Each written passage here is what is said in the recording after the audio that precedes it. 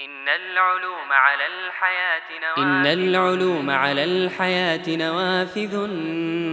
منها يطل أفاضل نجباء ليحاوروا الجمهور في أحوالهم وليسألوا العلماء عما شاءوا. فكر وتربية وتقنية وما يبني العقول ويعشق الأدباء. مثل النجوم تطل في جو السماء. فيشع منها في الدروب ضياء. السلام عليكم ورحمة الله وبركاته. أهلا وسهلا بكم مشاهدينا الكرام في حلقة جديدة من برنامجكم الأسبوعي المباشر نوافذ. أقبل على البشرى وعش متفائلا. ماذا جنى من شؤمه المتشائم؟ واصرخ على ليل المواجع قائلا. رمضان يا ليل المواجع قادم.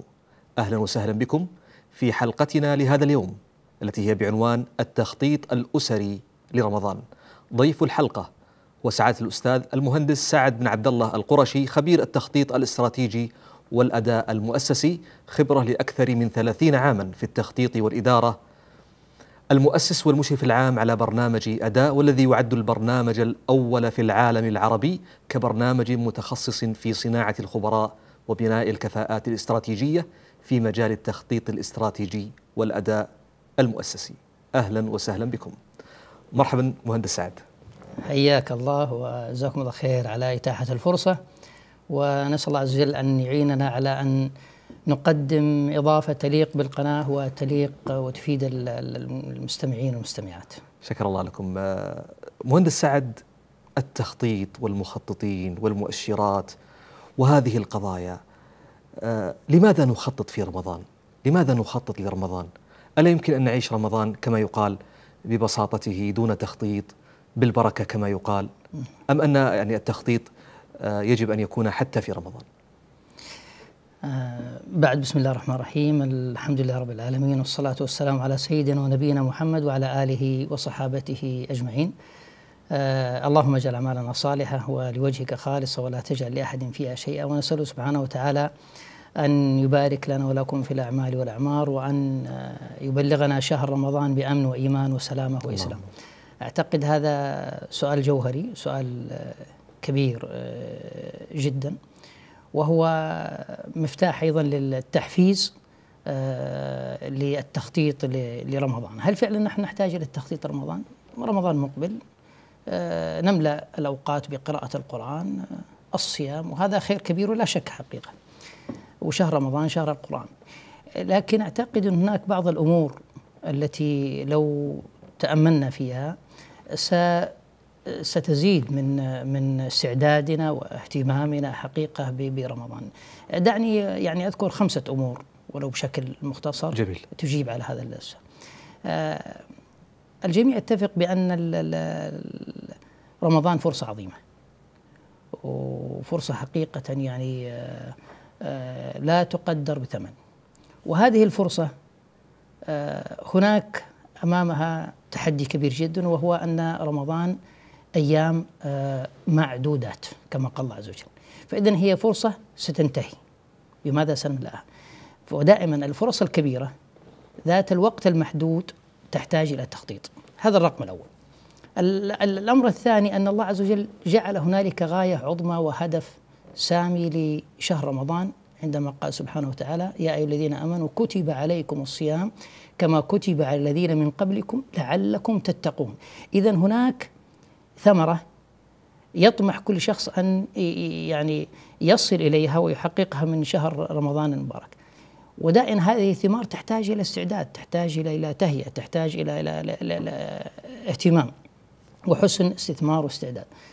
أيضا في قوله تعالى لو تأملنا في آخر سورة الحشر ولتنظر نفس ما قدمت لغد هذه الآية آية عجيبة جدا دائما عندما اقف عند هذه الآية أقول أنها اشتملت على أعظم وأثمن وأغلى وأطول تخطيط استراتيجي عرفته البشرية. جميل. لأن الله عز وجل يقول ولتنظر نفس ما قدمت متى في هذه الدنيا لغد الآخرة. اذا هو تخطيط على امتداد الحياة. ورمضان هو جزء ومرحلة من هذه الحياة. ذلك ربما, مهندس سعد يعني أطول المخططين مثلا يخططون ربما لعشر أو حتى لخمسين سنة. خمسين سنة عشرين سنة ثلاثين ومع التغيرات في العالم قد يكون التخطيط أقصر. صحيح. لكن الله عز وجل يدعونا إلى أن نخطط الحياة كاملة. الله أكبر. رمضان جزء من هذه الحياة. بل لاحظ في قوله تعالى ولتنظر هنا النظر معناه التدقيق والتمحيص والتأمل وليس أي آه ابن أو الشيخ السعدي عليه رحمة الله يقول كلمة آه، يقول في في عند حديثي عن تفسير هذه الآية يقول آه، هذه الآية الكريمة ولتنظر نفس هذه الآية أصل أصل في محاسبة العبد نفسه وأنه ينبغي له أن يتفقدها. شوف العبارة وأنه ينبغي له أن يتفقدها. الأمر الرابع المسارعة في استثمار فرص الخير إذا حضرت. ابن القيم له آه، كلام جميل جدا حقيقة لعلي آه، أقرأه بنصه كما ورد. يقول ابن القيم عليه رحمة الله في فرص الخير. جميل. يقول أن الرجل إذا حضرت له فرصة القربة والطاعة الآن رمضان بعد أيام سيحضر له. نسأل الله أن يبلغنا وإياكم رمضان. إذا حضرت له فرصة القربة والطاعة فالحزم كل الحزم في انتهازها والمبادرة إليها والعجز في تأخيرها والتسويف بها ولا سيما إذا لم يثق بقدرته وتمكنه من أسباب تحصيلها. الانسان لا يدري هل يعيش إلى رمضان القادم أو لا حتى رمضان القريب. يقول فإن العزائم والهمم سريعة الانتقاض قلما ثبتت أو ثبتت. فإن العزائم والهمم سريعة الانتقاض قلما ثبتت. والله سبحانه وهنا التهديد العجيب. يقول ابن القيم والله سبحانه يعاقب من فتح له بابا من الخير. الآن رمضان سيفتح باب بعد أيام. يا الله. يعاقب من فتح الله له بابا من الخير. فلم ينتهزه بأن يحول إيش العقوبة؟ بأن يحول بين قلبه وإرادته. لا حول فلا يمكنه بعد من إرادته عقوبة له.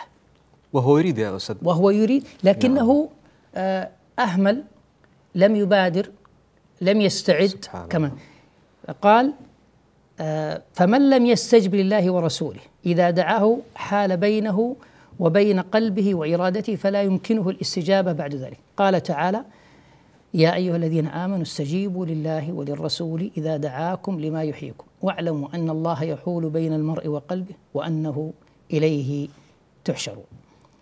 فهذه حقيقة أيضا تبين لنا آه، أمر من الأمور التي من أجلها نهتم بانتهاز الفرص والتهيؤ آه، لها. الأمر الخامس والأخير وهي آية عجيبة في في سورة التوبة قول الله عز وجل آه، ولو أرادوا الخروج لأعدوا له عدة ولكن كره الله بعاثهم فثبطهم وقيل اقعدوا مع القاعدين هاي تكلم فيها كثير أهل التفسير تكلم فيها أرباب السلوك حقيقة ومما ذكر كلام جميل لابن القيم عليه رحمة الله قال ومن أراد شيئا هيأ له عدته. رغم أن هذه الآية واردة في في باب الجهاد. نعم. لكنه ابن القيم قال في جميع الأبواب. نعم. العبرة بعموم اللفظ نعم. لا بخصوص السبب. نعم. قال ومن أراد شيئا هيأ له عدته. لذلك المسلم حقيقة هل يجد في نفسه هذه الأيام تشوق لرمضان واستعداد لرمضان؟ هل القلب يجد أنه ممتلئ بالعزيمة وأنه صادق؟ لأنه يقول ولو ولو أرادوا الخروج يعني هنا إذا صدق الإنسان أو أو اماره صدق الإنسان في إرادة أمر حسن التهيؤ له وهذا يأتي مثلا بالتخطيط هذه قد تكون حقيقة آه، بعض الأسباب التي تدعونا إلى أن نخطط للحياة عموما بل نخطط لرمضان اللي هو جزء من هذه الحياة. جميل, جميل. عجيب حقيقة مهندس سعد آه، بن عبد الله القرشي كيف أن أدبيات ونصوص القرآن والسنة وكلام السلف قضية التخطيط حاضرة يعني فيها حقيقة.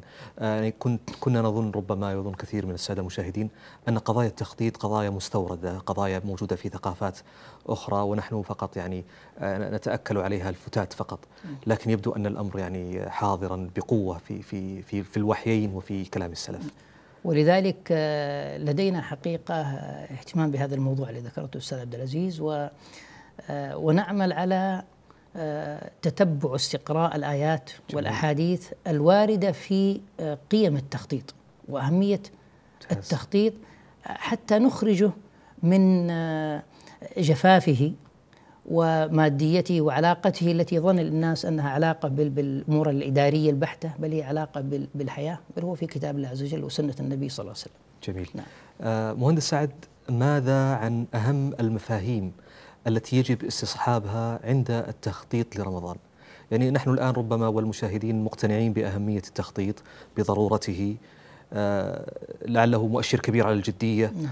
لكن آه، ما هي المفاهيم التي يجب أن تؤخذ في عين الاعتبار أثناء التخطيط تستصحب في عملية التخطيط لرمضان جزاك آه يمكن عندما نتحدث عن عن المفاهيم وجزاك الله خير إنك أشرت إلى أنها مفاهيم، نحن لا نريد يعني في في هذا اللقاء أن نتحدث عن مسميات برامج قد تختلف من من أسرة إلى أسرة. لا نريد أن ندخل في تفاصيل قد تختلف من من أسرة إلى إلى إلى أسرة. لكن نتكلم عن المفاهيم والتوصيات والوصايا العظيمة حقيقة أو الكلية دعنا نقول التي إذا تأملنا فيها وتدبرنا فيها ستجعلنا قادرين بإذن الله عز وجل على أن نتعامل مع رمضان ونستثمر بالشكل الصحيح. آه، هناك مجموعة من المفاهيم لعلنا نحاول أن نتحدث عن ما يسمح به الوقت. المفهوم الأول والذي أعتقد أنه سيغير نظرتنا إلى رمضان.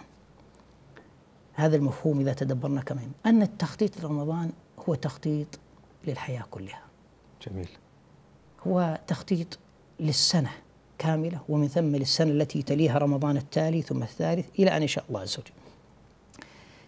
هذا الأمر إذا تأملنا فيه وفهمناه حق الفهم سيغير نظرتنا لرمضان لن يكون رمضان أيام أمامنا 30 يوم أو 29 يوم. نخطط لها نقرأ فيها القرآن نصوم هذا خير كبير جدا. لكن سيكون النظر لأبعد من ذلك. وبالتالي سننظر ما الذي يعني ما الذي يعني أن ننظر لرمضان بأنه آه تخطيط العمر؟ هذا يؤدي إلى تغيير في بعض المفاهيم. من أهمها أن رمضان مرحلة مرحلة انطلاق للتغيير الحقيقي. وبالتالي هو ليس لمحصلة أمور داخل الشهر هو مرحلة لما بعده. فبالتالي تخطيطنا وسيكون إطلاقنا للمشاريع يكون فرصة في في في في رمضان. جميل. ولذلك لعل هذا عفوا المقاطعة لعل هذا يعني يبرر أو يفسر ما يحصل لكثير من الناس بعد رمضان. نعم. تغير مثلا في الجانب العبادي أحيانا في الجانب الصحي. يعني يعني يبدو أن رمضان فعلا هي انطلاقة لما بعده. نعم. هو يعني نحن شبهناه تاجر ينزل إلى سوق معين يريد أن يكسب في فترة معينة ثم يمضي. تاجر لا. ينزل إلى سوق ليبني تجارة وسمعة لتستمر هذه التجارة صحيح. وتستديم فنحن عندما ننزل إلى سوق رمضان ننزل لنبني لما بعد رمضان لتستديم المكتسبات ونحافظ عليها ما بعد رمضان. فهذا المفهوم الأول. أيضا المفهوم الثاني الذي لابد أن نستصحبه للتخطيط لرمضان واستثماره أن رمضان محض تربوي إيماني تتوافر فيه. ممكنات وعوامل النجاح ما لا تتوافر في غيره. فهو فرصة للآباء والأمهات اليوم حقيقة كثير من الأسر تشكو أستاذ عبد العزيز من آه من حقيقة إشكاليات وتحديات في العصر. إن لم تزاحم آه تربية الأبناء والبنات قد تفسدها. يعني اليوم المتغيرات في العصر ضخمة جدا. ولذلك آه، الآباء يشفقون على أنفسهم ويشفقون على أسرهم ويريدون حقيقة أن يزرعون الخير في في في أسرهم. اليوم رمضان فرصة. تصفد فيه الشياطين بل مردت الشياطين فالله عز وجل هيأ لنا من ممكنات النجاح في رمضان ما لم يكن فيه في غيره فإذا هذا يدعو إلى إلى آه، استثماره ماذا يعني هذا الأمر؟ يعني حقيقة أن نهتم بغرس العادات الحسنة في رمضان، وهذا يقودنا إلى المفهوم الثالث استثمار رمضان لتنمية قوة العمل لدينا. اليوم الناس يعرفون حقيقة أهمية الصلاة. يعرفون أهمية القرآن. يعرفون أهمية الصيام والأخلاق الحسنة، أهمية الانضباط وترتيب الوقت. لكن لماذا لا يمارسون ابن القيم يذكر بأن هنالك في, في النفس أو في القلب آه، قوتان قوة علمية وقوة عملية قد يكون القوة العلمية الحمد لله كثير من الناس لديهم هذه القوة لكن الممارسة والعمل بما نعلمه فرمضان يأتي لنستطيع أن نحرك ما لدينا من من علم لكي نحوله إلى ممارسات. فينبغي عندما نخطط حقيقة أن نضع نصب أعيننا كيف نستثمر رمضان لهذا ال- ال- المفهوم الذي آه، ذكرته. آه، قد يكون أيضا من ال- ال- الاستثمار ال- الحقيقي لرمضان ليس بأن نملأه بمجرد عمل الصالحات. عمل الصالحات خير كبير جدا. لكن بدل أن نحقق مكسب 80% نريد أن نحقق 90% 30% ابن القيم عليه رحمة الله عندما آه، ويمكن أنا أنقل كثير عن ابن القيم لأنه يهتم بهذا الموضوع في جانب التربية والإيمانيات. عندما ذكر آه، في في كتابه مدارج السالكين بأن الشيطان بطيء ملحاح ذكر عقبات الشيطان التي يصفها أمام الإنسان. فكيف أن يتأتى من الكبائر إلى الصغائر البدع وكذا أو قبل ذلك البدع ثم الصغائر إلى أن يشغله بالمفضول عن الفاضل. الله. الله المستعان فنحن نراعي في رمضان ليس في التخطيط أن نقول بملئه بالخير لا بدرجات الخير المرتفعة. النبي صلى الله عليه وسلم في حديثه مع جويرية زوجه رضي الله عنها عندما صلى الصبح وخرج منها وما زالت تذكر الله عز وجل في في في مجلسها رجع إليها بعد أن تعالى النهار ضحى. فقال ما زلت على حالك التي تركتك عليها؟ كانت تذكر الله عز وجل. لقد قلت بعدك أربع كلمات ثلاث مرات. لو وزنت بما قلت لوزنتهن سبحان الله وبحمده عدد خلقه ورضا نفسه ومداد كلمة وزنة عرشه ومداد كلماته. إذا الأذكار تتفاضل. إذا الأعمال تتفاضل. فإذا ينبغي أن نراعي من المفاهيم في التخطيط لرمضان أن نراعي ما المناسب لكل وقت. يعني البرنامج المناسب بالشكل المناسب في الوقت المناسب. هذه الثلاثية. إيش البرنامج المناسب؟ كيف يكون شكله؟ قد يكون مسابقة قد يكون جلسة قد يكون عبر مقطع نراه في التلفزيون قبل متابعة قناة محافظة وجيدة. فإذا البرنامج المناسب في الوقت المناسب بالشكل المناسب. هذا أيضا مفهوم من ال- ال- ال- المفاهيم. أيضا هناك قول لابن القيم اسمح لي أستاذ عبد العزيز أن, أن نذكر هذا ال- القول قول عجيب يتكلم عن عن ال- الوقت. يقول آه، رحمه الله فالأفضل في كل وقت وحال. هذه عبودية الوقت أو واجب الوقت. جميل. فالأفضل في كل وقت وحال إيثار مرضاة الله في ذلك الوقت والحال والاشتغال بواجب ذلك الوقت ووظيفته ومقتضاه. إيش علاقته بالتخطيط؟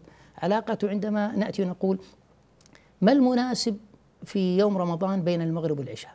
قد يكون المناسب جلسة الأسرة مع بعضها والرفاهية فيها. والتغيير الأجواء على الأبناء والبنات والزوجة.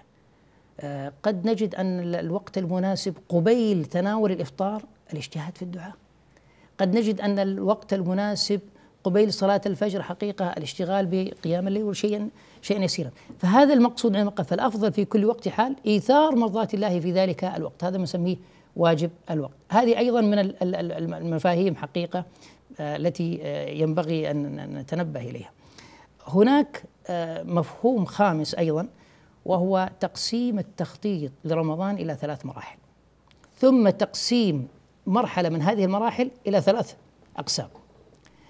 آه، لدينا الاستعداد في شعبان ثم الاستثمار في رمضان ثم المحافظة على المكتسبات في شوال وما بعده. فلما نخطط نراعي هذا الأمر.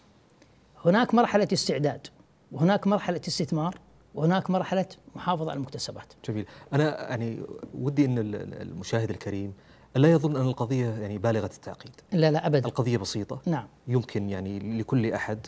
آه، لا يلزم أن يكون استاذا كبيرا في التخطيط حتى يعني يعني يسبر آه، هذه القضايا وإنما القضايا يعني أبسط من أن آه، ليست ليست ساذجة ولكنها يمكن لكل مهتم وموفق أن يمارس هذه العملية. اليس كذلك مهندس نعم سعد؟ ولذلك آه، من الأهداف حقيقة التي وضعناها نصب عيوننا في موضوع تخطيط الاسره رمضان هو تبسيطه أن يكون مبسط ميسر وعملي. ولذلك سأعرض يعني سنعرض إن شاء الله بعد قليل نتحدث عن نموذجين مبسطة جدا ممتاز. تساعد الأسر على كيف يمكن توظيف هذه المفاهيم من خلال نموذجين. ممتاز. ورقتين فقط تستطيع الأسرة أن تجتمع عليها تستحضر ما ذكرناه من مفاهيم وما سنذكره أيضا حتى تحاول أن توظف هذه المفاهيم بالشكل المناسب في هذه ال- ال- ال- النماذج. ممتاز. آه، لو تكلمنا أستاذ عبد العزيز عن مرحلة الاستعداد في شعبان. هناك ثلاثة أمور مهمة جدا. آه، مرحلة التهيئة في في التهيئة العلمية التهيئة المعنوية والتهيئة العملية. بشكل مبسط هذا نتكلم عن ال- ال- البساطة حقيقة لكن البساطة المحكمة. لما نقول التهيئة ال- ال- النفسية الحديث عن فضائل رمضان. فقط. نحاول أن أن من الآن. أن نعم. بل وقبل ذلك. يعني من نكثف الحديث عن فضائل رمضان. حتى تتشوق النفس لهذا الأمر. هذه في- فيما يتعلق بالتهيئة النفسية. تكون عندنا جلسات لهذا الموضوع فقط. ثم لما نتكلم عن التهيئة العلمية أن نتعرف على بعض الأحكام الواردة في موضوع الصيام. وحبذا أن نأخذها بارتباطها بالقرآن أو ارتباطها بالسنة الأحكام ال- ال- الواردة والحديث. عنها ثم التهيئة العملية. التهيئة العملية إن كان هناك أمور نبادر حقيقة كما يقول تموين تموين رمضان. صحيح. مع عدم حقيقة ال- ال- الإغراق فيه. مهم جدا أن نبكر فيه حتى لا يشغلنا في رمضان. آه، تهيئة مكتبة رمضان. اليوم إحنا عندنا مكاتب لكن نريد أن نجمع كل ما يتحدث عن رمضان في مكان واحد أمام أعيننا. ويا ليت يكون في المجلس الذي تجتمع فيه الأسرة بشكل أكثر. ممتاز. يا ليت حقيقة يكون عندنا بعض ال- ال- البطاقات أو بعض اللوحات ال- اللي تعبر أو تتحدث عن رمضان معلقة. بعض الأمور بدون الإغراق حقيقة التي تعود الناس أن يعلقونها في البيت أو يضعونها على ال- على الأبواب. هذه تجعل الناس آه، آه، أنهم أمام شيء جديد وبالذات الصغار. يشعرون أن هناك تغير في شيء قادم غير ما اعتادوا عليه. فبعض ال- الزينة المبسطة ما يسمى فانوس رمضان أو أو غيره بدون الإغراق فيه أعتقد أن هذه من الأمور حقيقة اللي اللي تغير آه، تضفي, جو آه، تضفي جوا جديدا نعم. على خصوصا آه، مهندس سعد أن الأطفال يعني يصعب ان يقتنعوا بالأشياء المجردة، يحتاجون إلى إلى ماديات إلى ملموسات حتى يعني يشعروا بمرحلة جديدة أو بوقت جديد. نعم نعم ولذلك نحتاج حقيقة أن نستخدم بعض هذه الأدوات وأعتقد كان هناك لقاء الأسبوع الماضي مع خبير هذا المجال ال- ال- الأستاذ فيصل. فيصل بن سلمان. وكان أنا تابعت كان لقاء حقيقة ماتع جدا وأوصي بالمناسبة للأسر بالعودة للقاء والاطلاع عليه. يعني عرض بعض النماذج كيف تستطيع أن أن تجعل طفلك يتعامل ويتفاعل تفاعل جيد مع القرآن. عبر بعض الأمور المحسوسة ال- ال- الملموسة ترى نحن حتى الكبار أنت ودك تشعر أنه البيت تغير ودك تشوف بعض الترتيبات بعض حتى الأثاث وتحريك الأثاث وما إلى ذلك فهذا ما يتعلق بموضوع ال- ال- الاستعداد سواء النفسي أو ال- ال- ال- العلمي أو المعنوي والعملي. جميل، قبل أن ننتقل مهندس سعد أستأذنكم في فاصل قصير إن أذنتم. فاصل قصير أيها الإخوة ثم نعاود الحديث معكم ومع المهندس سعد بن عبد الله القرشي خبير التخطيط الاستراتيجي والأداء المؤسسي في حديث بعنوان التخطيط الأسري لرمضان. فاصل قصير ثم نعاود الحديث. ابقوا معنا.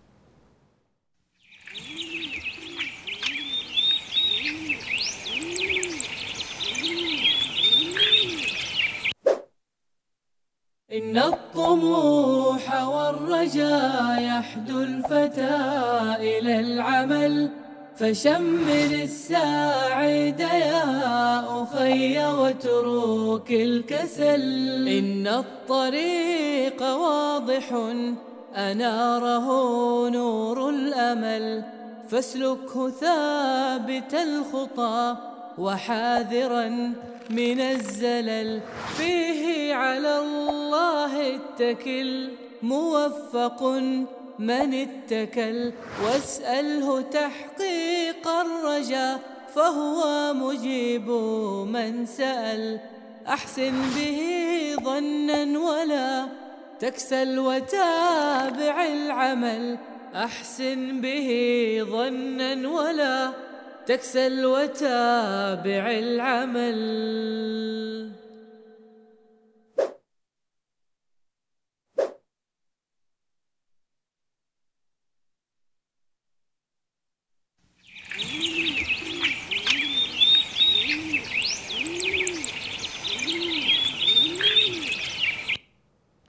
أهلا وسهلا بكم مشاهدينا الكرام، ها قد عدنا إليكم في حديث ماتع حول التخطيط الأسري لرمضان مع ضيف حلقتنا لهذا اليوم سعادة المهندس سعد بن عبد الله القرشي.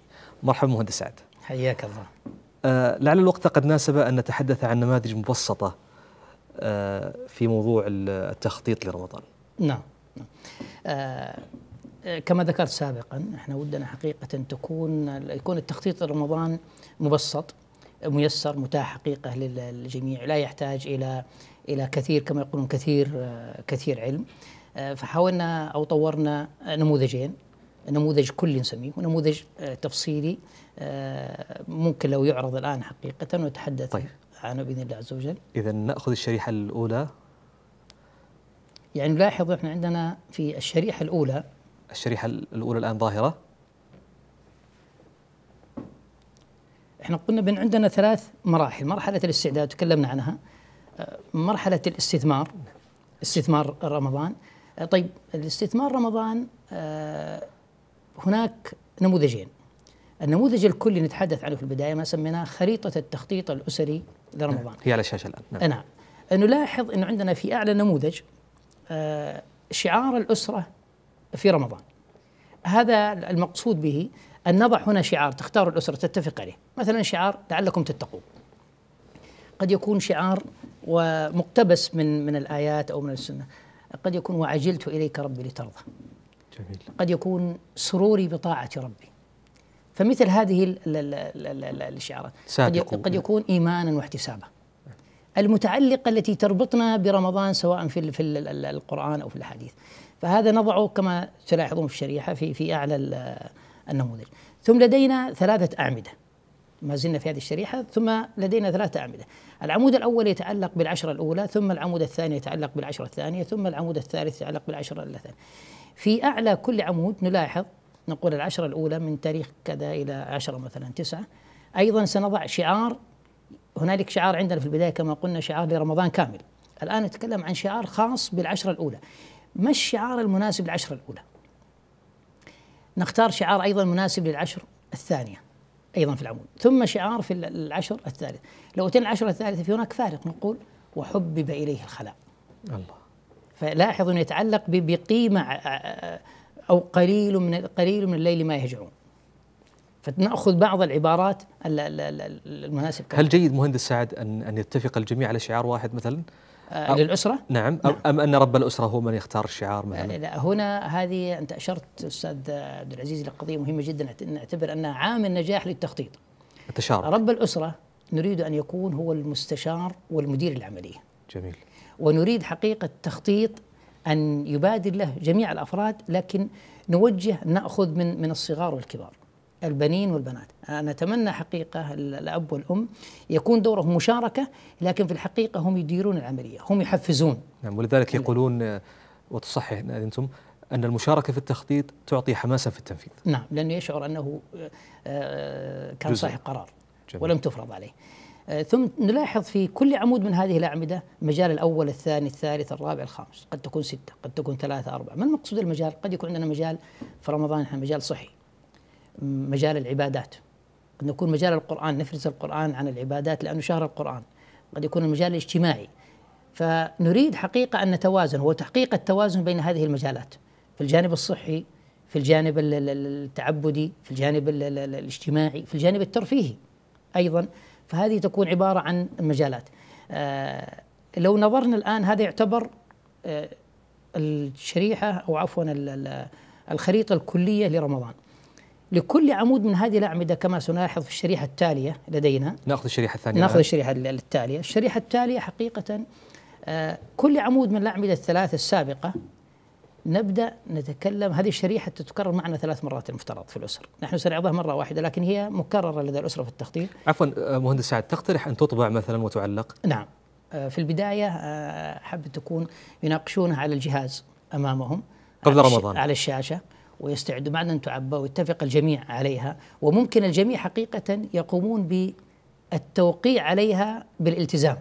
جميل هذه تعطي وكلا يرى حقيقة كلمته مثلا كلمة ألتزم أه؟ سأعمل عليها. الصغير والكبير. سأبذل الجميع جميل. سأبذل جهدي. وحتى هذا هذا المقطع لو يوثق بالفيديو توثيق صوتيا وفيديا. إنهم وقبل دخول الشهر ما الذي اتفقوا عليه؟ دعهم خلال الشهر يعرضون هذه الأمور حتى تذكرهم بهذا الاتفاق العظيم حقيقة وال- والمحفز لهم. آه، فتلاحظ أن في كل آه، شريحة هاي ستتكرر هذه الشريحة تتكرر معنا ثلاث مرات المفترض في الأسر. هذه الشريحة الأولى آه، يكون موجود فيها امام تحت كل مجال تلاحظ عندنا في اعلى الآن أصبح عندنا الأعمدة عبارة عن المجال الصحي، المجال الإيماني، المجال مثلا نفرض التعبدي، مجال القرآن، المجال الاجتماعي، نبدأ نضع برامج. ما البرامج التي نريد حقيقة أن ننفذها في الجانب الصحي؟ ما البرامج التي ننفذها في في الجانب قراءة القرآن؟ قد يكون لدينا ورد من القرآن، قد يكون لنا آه، جلسة تدبر القرآن. آه، في الجانب الصحي قد يكون لدينا في قضية ال- ال- الغذاء أو طريقة ال- ال- الغذاء، نريد حقيقة أن نحقق عادات كما قلت. ممارسات نخرج من رمضان وقد اعتادت الأسرة عليها. من الأمور التي أوصي بها عند تعبئة هذه البرامج أن نراعي في أسماء البرامج آه، بعض المصطلحات آه، الشرعية. مثل لما نأتي لحلقة القرآن نقول يتدارسونه. عندنا برنامج اسمه يتدارسونه. تؤخذ من نور القرآن يعني. نعم. لما نأتي في بر... تحت الجانب الاجتماعي ولينا عمل خيري للبذل آه نبدأ نضع مثلا فرضا آه في آه آه أجود ما يكون في رمضان. نأخذ هذا الم...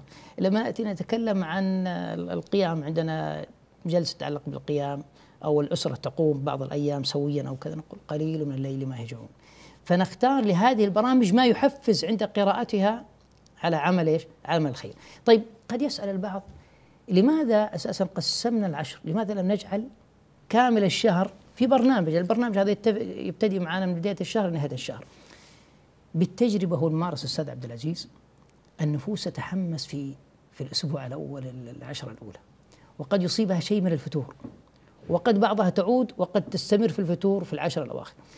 فأنت كأنك تجعل محطات لمحاسبة النفس. أنت تريد في كل عشر أن تخرج ب ب آه، ببعض مكتسبات. ال- الإنجازات اللي تحاسب نفسك عليها. أيضا نريد بعض بعض البرامج قد تناسب في العشرة الأولى لا تناسب العشرة الثانية. آه، بعض البرامج قد لا تناسب قد تناسب العشرة الأولى في العشرة الثانية لا تناسب في العشرة الثالثة. أيضا آه، رتم البرامج أو دعنا نقول مثلا طبيعة نعم. ال- المجتمع في العشرين الأولى مختلف عن العشر الأخيرة. م- أضرب مثال حتى لا نطيل. آه، تلاحظ أن العشرين الأولى أغلب وقت الراحة يكون ليلا في العشر الأخير نتيجة للقيام والتهجد أغلب وقت الراحة يكون في النهار. فلو كان برنامجك من بداية الشهر لنهاية الشهر على رتم واحد سيفشل البرنامج. فأنت تحتاج إلى أن تختار كما قلنا البرنامج المناسب في الوقت المناسب بالشكل المناسب. فقد يكون نفس البرنامج هو تكرره معك لكن بأشكال مناسبة في العشر الأولى عن العشر الثانية عن العشر ال- ال- ال- الثالث. هذا يعني نموذجين مبسطة آه، أعتقد أنها يعني ممكن أي أسرة تقوم بتعبئتها كما قلنا بمشاركة أفراد ال- ال- الأسرة. وتقوم بتعليقها ولا إذا نحن نستأذنك في هذه النماذج الجميلة أن نضعها على حسابات ال- القناة آه، في وسائل التواصل وفي موقعها آه، لكي يستطيع من أراد يعني طباعتها والاستفادة منها. هذا هذا شرف لنا حقيقة. شكر الله هذا لكم. شرف لنا. طيب آه، ما زال الحديث متصلا سعادة المهندس حول المفاهيم نعم. التي يجب استصحابها أثناء التخطيط لرمضان. آه، نحن قلنا بأنه التقسيم الآن إلى الاستعداد وتكلمنا عنه. ثم الاستثمار وتكلمنا من خلال هذه النماذج آه، ثم قلنا المحافظة على المكتسبات. المحافظة على المكتسبات. من المفاهيم المهمة جدا أن شوال إما أن يكون داعم لمكتسبات رمضان أو لا قدر الله مضيع لها. ولذلك بعض الناس ما ينتبه حقيقة إلى الأسبوع الأول أو الأسبوعين الأولى من شوال. فتجد أن البعض ينتقل من رمضان انتقال عجيب جدا إلى فتور يخرجه عن الدائرة المسبوع بها لكل عمل كما كما قال النبي صلى الله عليه وسلم لكل عمل شرة آه ولكل ولكل شرة فترة. فترة. فمن كانت فترته إلى سنتي فقد اهتدى. لكن المشكلة أنه بعض الأوقات نحن طبيعي لا نريد أن نقول بالاستمرار والتهجد يكون في, في الأسبوع الأول من شوال آه، أسبوع الفرح والعيد لا والانبساط. يعني يصعب أن يكون تماما مثلا ك- ك- كالعشر نعم. الأخيرة مثلا. لكن عندما نخطط لرمضان نخطط كيف نحافظ على المكتسبات كما قلنا ابتداء. نحن لا نخطط لرمضان. نخطط ليكون رمضان نقطة انطلاق لما بعده. لذلك سيكون شوال داعم. فنفكر ما الذي ينبغي أن نخططه في شوال من الآن في شعبان حتى ما نخرج به من مكتسبات؟ في رمضان نحافظ عليه وينفعنا في شوال وما بعد شوال. هذا أيضا من المفاهيم المهمة جدا وهي المحافظة على المكتسبات. ولذلك كان من دعاء النبي صلى الله عليه وسلم كما ذكرت عائشة رضي الله عنها أكثر ما كان آه، من دعائه في سجوده اللهم يا مقلب القلوب ثبت قلبي على دينك. وقد يكون من المفاهيم العظيمة جدا مفهوم ايمانا واحتسابا. أستاذ عبد العزيز لا يخفى عليك النبي صلى الله عليه وسلم ذكر آه، هذين الشرطين في ثلاثة مواضع. من صام رمضان ايمانا واحتسابا غفر له ما تقدم من ذنبه. من قام رمضان ايمانا واحتسابا غفر له ما تقدم من ذنبه. من قام ليلة القدر ايمانا واحتسابا غفر له ما تقدم من ذنبه. اذا هذا مفهوم عظيم جدا. ونحن ونحن نمضي في في في تطبيق برامجنا. هل نحن نقوم بهذه إيمانا واحتسابا؟ هذه قضية مهمة جدا، هذه قيمة. أن ننطلق في برامجنا وننطلق في تطبيقها إيمانا، نحن مصدقين تصديق قوي بهذا الامر ونحتسب الأجر من الله عز وجل مهما أصابنا من التعب مهما أصابنا من العطش من الجوع ما إلى ذلك. آه ذكرنا في أن شهر رمضان هو شهر القرآن. ولذلك من المفاهيم المهمة جدا نستطيع أن نقول أن يكون آه تخطيط رمضان يتمحور حول القرآن. وهذه نقطة نقف معها قليلا. جميل. أن يكون التخطيط لرمضان يتمحور حول القرآن، كيف هذا الأمر؟ آه، أنا سيكون عندي برامج اجتماعية سيكون عندي برامج آه، ترفيهية سيكون عندي برامج صحية آه، في العبادات في القرآن لكن نريد حتى البرامج الأخرى أن تكون مستوحاة من كتاب الله عز وجل منضبطة بكتاب الله عز وجل فيصبح يعني كأننا نحن نقوم بالتدبر في كتاب الله وأن نعيش ونحيا مع كتاب الله لكن بصور مختلفة. يعني لا شك أن القراءة والتدبر أعلاها لكن هناك صورة أخرى. نحن نتكلم على الأمور الغذاء والطعام. ننظر ماذا يقول القرآن عن موضوع الغذاء وعدم الإسراف فيه. عندما نتكلم عن جانب الترفيه موجود في كتاب في القرآن وفي السنة. عندما نتكلم عن عن البذل نقوم برنامج في مساعدة الآخرين الجانب الاجتماعي أو صلة الأقارب أو التواصل مع الجدة والجد والعم والعم والخال والخالة وما إلى ذلك الأقارب. ما القرآن, القرآن ماذا قال في هذا الأمر؟ فإذا نحن نأخذ أشكال مختلفة للعيش مع القرآن. لأن البعض يظن أن في رمضان أن يقبل على القرآن هذا شيء كبير جدا. لكن حتى يعيش مع القرآن حقيقة ينوع صور العيش مع القرآن. هذا مفهوم من المفاهيم التي ينبغي حقيقة أن نتأمل فيها. آه، من الأمور المهمة جدا وأؤكد عليها ما يسمى بضبط إيقاع البيت.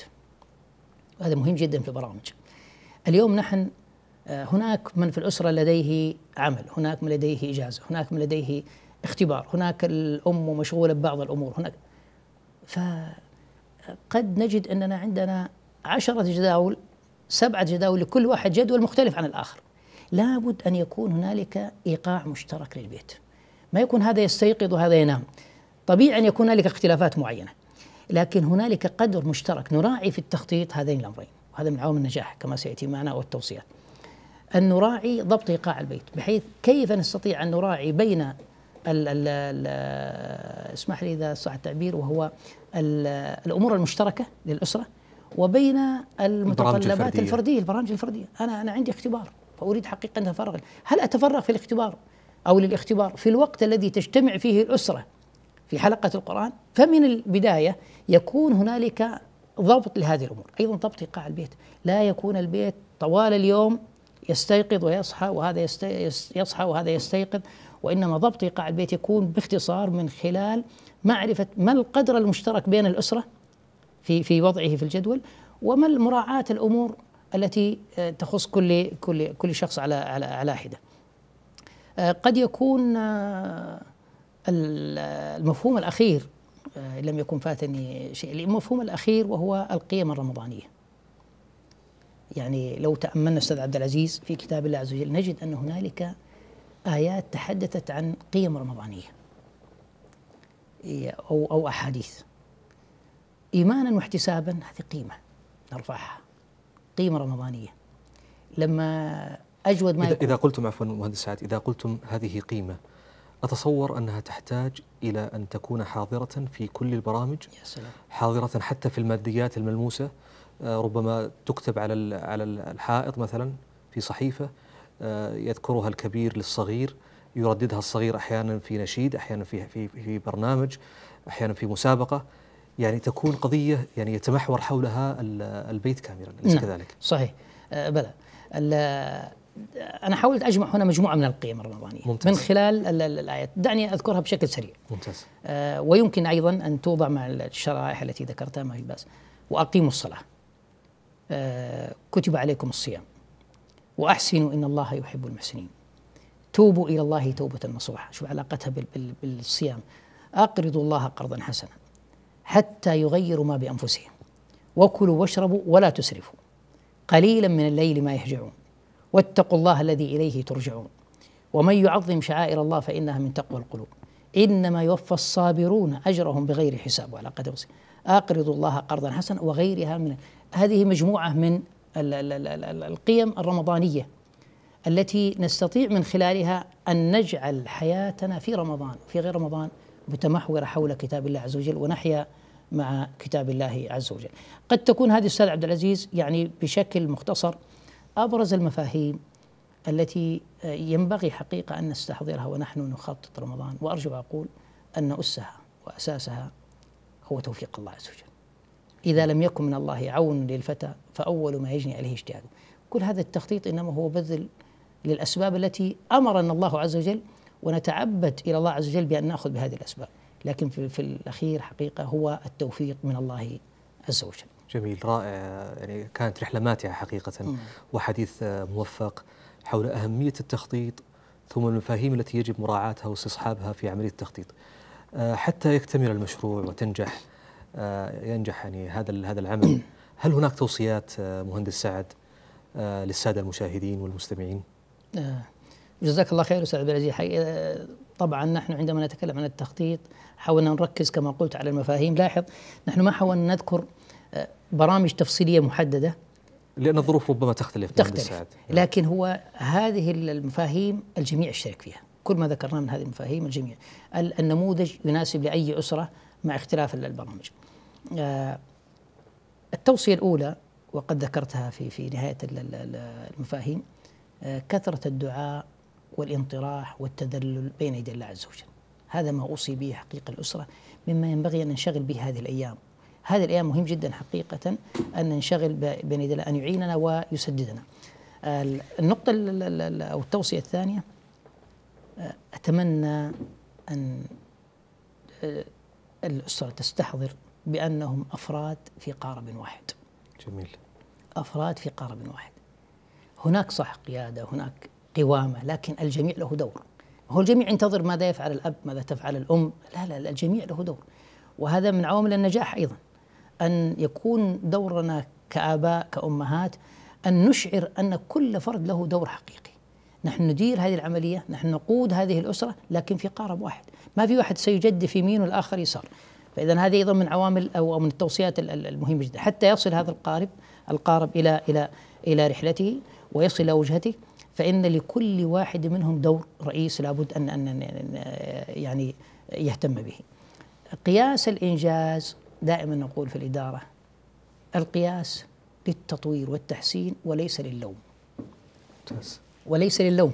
يعني أنا وجدت بعد العشرة الأولى أحد الأبناء ما قام ولا 50 و 30% مما مطلوب منه.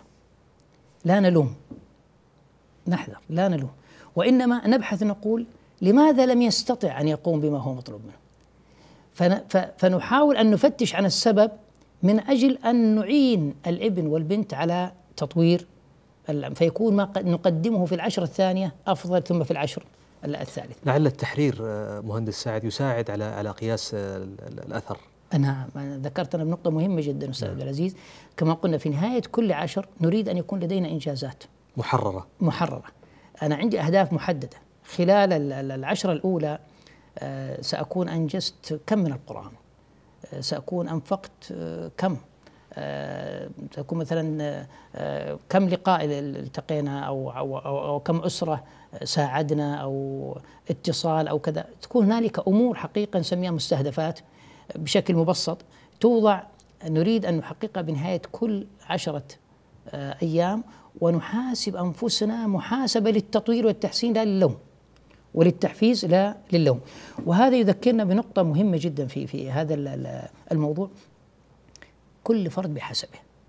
يأتي أب من الخطأ تأتي يأتي بعض الآباء يستطيع أن يقرأ في ثلاثة أيام ختمة. في فيأخذ أبنائه بال بال بال بالعزيمة. بالعزيمة. ويريد أن يقول فرصة رمضان والجميع يختم في ثلاثة أيام. لا نقول ورد قرآني. كم تستطيع أستاذ عبد العزيز تستطيع والله في اليوم تقرأ عشرة أجزاء؟ أنا أستطيع جزء واحد. البنت الأخرى تستطيع آه، مقدار كذا. فإذا نحن نتفق على الأمر الذي نريد أن نقوم به، لكن المقدار يختلف من شخص إلى شخص، هذه من عوامل النجاح المهمة والتوصيات التي نريد أن نركز عليها، التعامل مع كل فرد بحسبه. أيضا الاحتفاء بالإنجازات. الله عز وجل يقول: قل بفضل الله وبرحمته فبذلك فليفرحوا. نفرح لما ينتهي أسبوع وختمنا كذا من كتاب الله عز وجل ودعمنا كذا وقمنا بكذا، فهذا فضل من الله عز وجل، مشاركة الجميع في التخطيط. كما قلنا القدوة ثم القدوة ثم القدوة. يعني لنكن قدوة لأبنائنا وبناتنا أكثر من كلامنا. يعني نخطط في البداية لكن بعد ذلك الذي يتكلم عن التخطيط خلال رمضان هي آه، أفعالنا. فهذه مهمة جدا. وعندما أقول القدوة أنا ودي بس أشير إلى نقطة معينة. قدوة ليس فقط الأب والأم. أنا دائما أقول الأخ الكبير والأخت الكبيرة. جميل.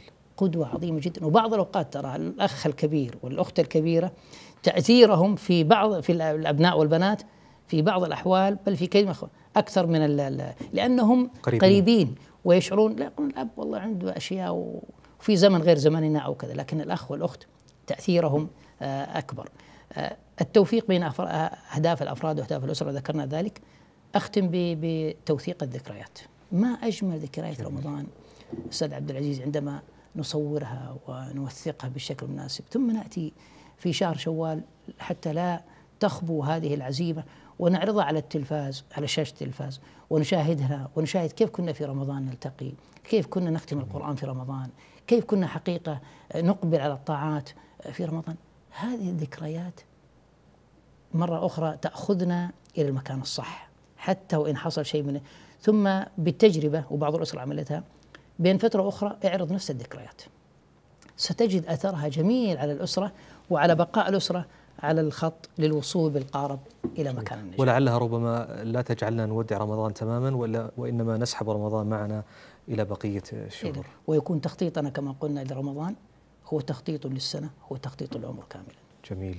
آه شكر الله لكم سعادة المهندس سعد بن عبد الله القرشي خبير التخطيط الاستراتيجي والأداء المؤسسي. كان حديثكم ماتع. حول التخطيط لرمضان. شكرا لكم. وأنا أشكر لكم هذه الاستضافة وآمل أن أكون قدمت شيء يعني ينفع المشاركين والمستمعين والمستمعات في الاستعدادهم لهذا الشهر. أسأل الله عز وجل أن يبلغنا وإياكم شهر رمضان على طاعته سبحانه وتعالى. اللهم آمين.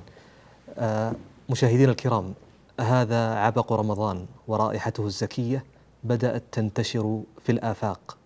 كونوا قريبين من الله عز وجل. استعدوا لرمضان. خططوا لهذا الموسم المبارك. نسأل الله عز وجل أن يبلغنا وإياكم رمضان وأن يوفقنا لصيامه وقيامه وفي العمل الصالح الذي يرضيه عنا. يا رب العالمين إلى أن نلقاكم في حلقة جديدة. نستودعكم الله. السلام عليكم ورحمة الله وبركاته. إن العلوم على الحياة نوافذ. إن العلوم على الحياة نوافذ. منها يطل أفاضل النجباء ليحاوروا الجمهور في أحوالهم وليسألوا العلماء عما شاءوا. فكر وتربية وتقنية وما يبني العقول ويعشق الأدباء. مثل النجوم تطل في جو السماء فيشع منها في الدروب ضياء.